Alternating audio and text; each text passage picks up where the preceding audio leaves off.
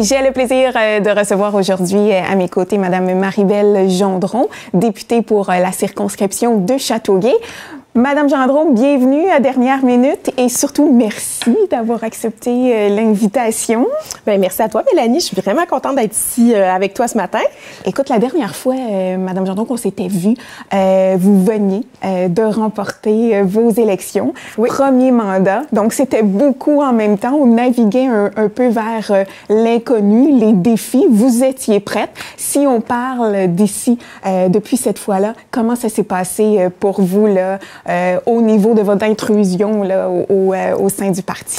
Ça se passe très bien, en fait. Là, euh, c'est même incroyablement euh, au-delà de mes attentes. Euh, ça a commencé, par exemple, avec beaucoup d'informations, beaucoup de formations, ça c'est sûr. Euh, par contre, là, je suis bien assise dans mon, euh, à ma chaise. Ça se passe bien. J'ai une super belle collaboration avec tous mes collègues députés, ministres. Ça se passe très bien. Ça va vite, malgré des fois ce qu'on peut dire là, mais ça va très hein? vite. Puis on n'est pas plus, on n'est pas trop de 125 députés pour en fait faire tout le travail qui est à faire, le travail colossal. Mais ça se passe super bien. Beaucoup de travail à Québec. Euh, Oui. Donc je quitte, euh, c'est sûr les semaines. Moi je suis à Québec, mais euh, j'ai la chance de compter sur mon équipe en circonscription, dont Philippe, Isabelle, Thomas et Camille là, qui, Oui. qui sont pour Présent moi. ici à la semaine pendant que Madame Gendron est à Québec. Oui, mais je suis quand même ici Ben au- oui. ben, les week-ends, les lundis, les vendredis. Donc, j'essaie d'être le plus présente au sein de ma communauté puis de mes gens. Puis, c'est ce que j'aime le plus. Que, Oui, puis je le remarque, moi, sur vos réseaux sociaux, vous avez une belle présence, vous vous impliquez, vous avez déjà euh, participé à plusieurs euh, événements. Oui. Euh, donc, ça se passe comment, ça, pour vous, là, de- de- d'aller euh, voir les gens, les encourager dans différentes choses, etc.? Ben c'est pas si loin de ce que je faisais déjà Oui, avant. hein. Donc j'étais avant le président de la chambre de commerce, puis j'étais Oui. très impliquée dans la vous communauté. étiez déjà un peu dans le bain. hein. Exactement. Fait que, tu sais, moi, c'est un plaisir d'aller à la rencontre Mm-hmm. des gens. Puis, au-delà de ça, ben, on, je vois, je rencontre des nouvelles personnes, euh, je rencontre des nouveaux, euh, bon, des nouvelles activités qui se font dans la région. Euh, la région, a, a- a plein de beaux événements. Euh, donc, c'est un, un, un gros plaisir, là, vraiment, là, euh, d'être là sur le terrain puis d'aller à la rencontre des gens. Vraiment. Vraiment. Puis je tiens à préciser euh, à la maison que Mme Gendron est, euh, a accepté de commanditer notre événement Oui. bénéfice. Oui. Donc, un gros merci. Vous avez été la première à être là et je tiens à le souligner. Ça Ah, nous a fait chaud au cœur, vraiment. Donc, euh, un beau gros euh, merci pour cet apport. D'ailleurs, on va vous voir à notre événement bénéfice le 1er juin Oui, prochain. certainement. Puis, ça me fait plaisir, vraiment. Donc, on va entrer maintenant dans des dossiers. Oui, hein, parce que, ben comme, comme vous le disiez, vous travaillez fort en ce moment. Donc, on va jaser de un qui a fait jaser beaucoup, c'est le cas de le dire. Donc, euh, Hydro-Québec, Oui. euh, le fameux verglas qu'on a eu, les pannes électriques. Donc, comment ça s'est passé à Québec, là, de ce côté? Oui, ben à ce moment-là, moi j'étais euh, j'étais à Québec quand ça s'est passé. Rap- rapidement, j'ai eu le téléphone de certaines personnes me disant la, la situation telle qu'elle était Oui. ici. Euh, moi rapidement ce matin-là, en fait, on était en caucus. j'ai levé la main pour expliquer que dans ma circonscription, la situation était vraiment particulière à cause des, des inondations Oui. et qu'il y avait énormément de, de, de résidents qui avaient de résidences qui n'avaient pas d'électricité. Donc euh, à ce moment-là, j'ai eu des belles communications avec M. Fitzgibbon qui allait à la rencontre d'Hydro-Québec un peu plus tard là euh, dans les minutes suivantes, puis également avec euh, le ministre M. Bonardel de la sécurité publique pour mettre vraiment l'emphase dans, dans dans la circonscription de Châteauguay, euh, ce qui a été fait extrêmement rapidement, donc en collaboration avec avec tous les maires là que je dois mentionner de la ville de Saint-Isidore, Mercier, Châteauguay, Léry. Euh, on a travaillé de pair. Puis j'aimerais, euh, si tu me permets, Oui, prendre le temps de souligner euh, l'implication de toutes les équipes qui ont travaillé. euh, sur le terrain, Euh, également les équipes d'Hydro-Québec euh, qui ont travaillé extrêmement fort, mais également tous les gens qui se sont entraidés, qui ont travaillé pour les villes, qui ont ouvert des places pour accueillir les gens, les citoyens. Je vous lève mon chapeau. Ça nous a montré euh, à quel point la collaboration est importante.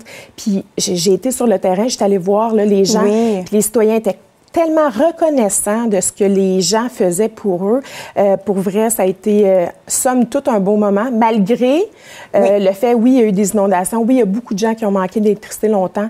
Euh, puis je, suis, je suis sensible à ça. Je suis vraiment désolée de cette situation-là. Mais somme toute, euh, on, s'en est sorti quand même rapidement. Oui, et, euh, exact. Faut, faut pas oublier que c'est des situations qu'on peut pas prévoir et pour lesquelles on a, du temps pour s'organiser. Il faut agir rapidement. Exactement. Et ça, faut le souligner. Ça a été fait, comme euh, vous l'avez euh, si bien dit. Puis bon, c'est certain que hein, qu'on est, qu'on est habitué au luxe d'avoir de l'électricité à chaque jour, on panique un peu quand ça fait plusieurs jours qu'on n'en a pas. Donc, en effet, rapidement, cette journée-là, je suis revenue mhm. justement en circonscription là, pour constater là, sur le terrain le travail équipes. Puis euh, un gros bravo tout le monde. Ah, bon, ben c'est fait. Donc, on va passer à un autre sujet. Euh, on se promène en région parce qu'il y a plein de belles choses qui se passent un peu partout sur nos territoires, soit entre autres une piscine intérieure pour la ville de Châteauguay. Est-ce ben, que c'est un projet en cours?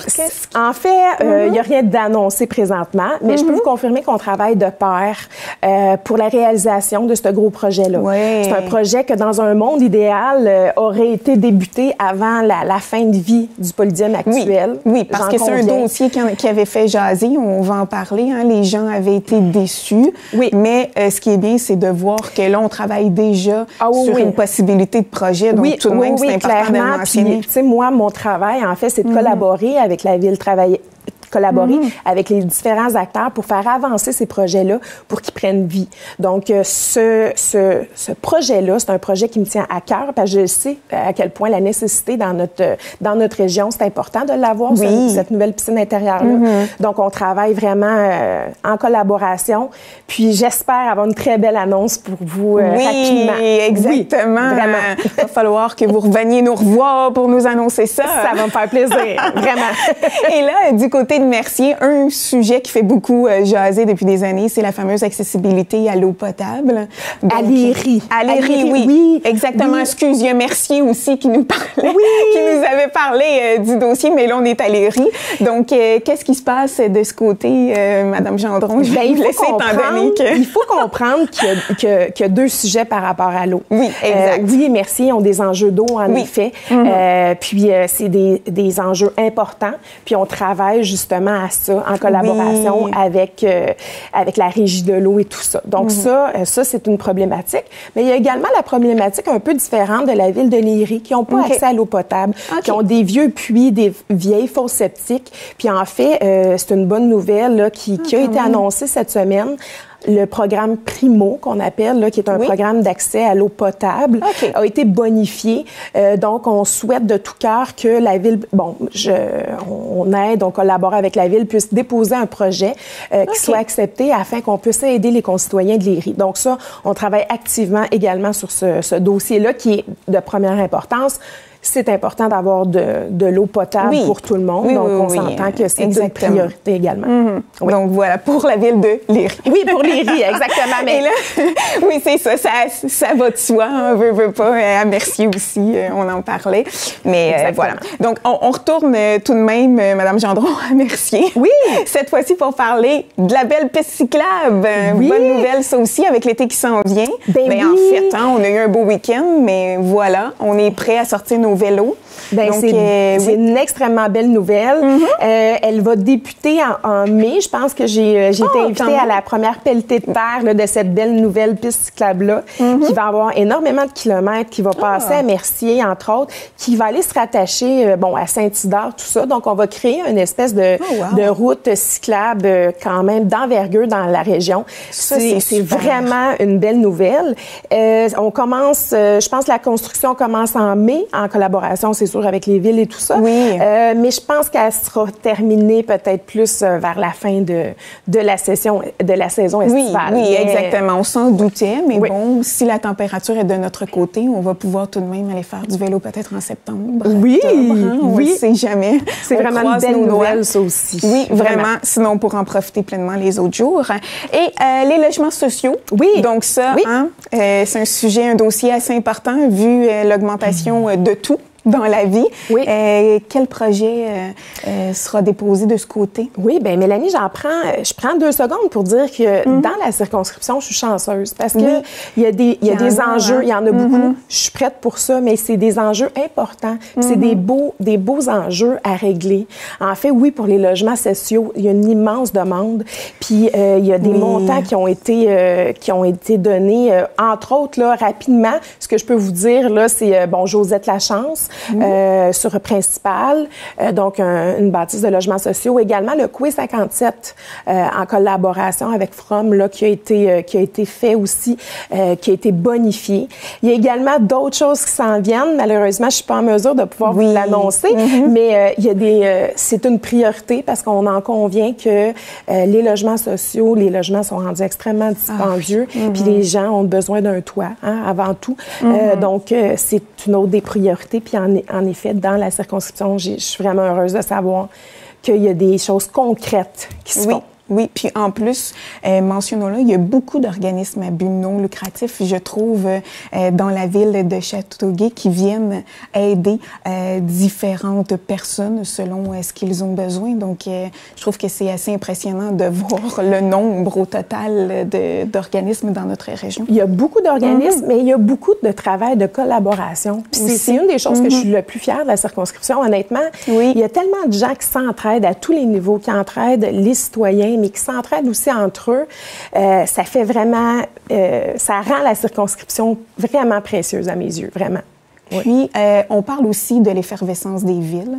Ah Donc, euh, tu, euh, vous en avez un peu euh, parlé au début et tout ça. Donc, qu'est-ce qui se passe de ce côté-là? Là? Ben, il y a plein de beaux projets qui hein? sont... Ah oui, mais mm. autant là, dans toutes les villes, que ce soit Ganawagé, Léry, Saint-Isidore, mm-hmm. Châteauguay, il y a des beaux projets. Il y en a, il y en a plusieurs beaux projets. Puis en fait, là, moi, mon travail, c'est de travailler en collaboration pour pousser ces, ces projets-là, pour les faire avancer. Mm-hmm. il y a des belles choses qui s'en viennent, que ce soit au niveau niveau scolaire, comme on sait, le LPP s'en vient, que ce soit au niveau des nouvelles entreprises qui ont pignon sur rue, que ce soit des garderies, que ce soit des...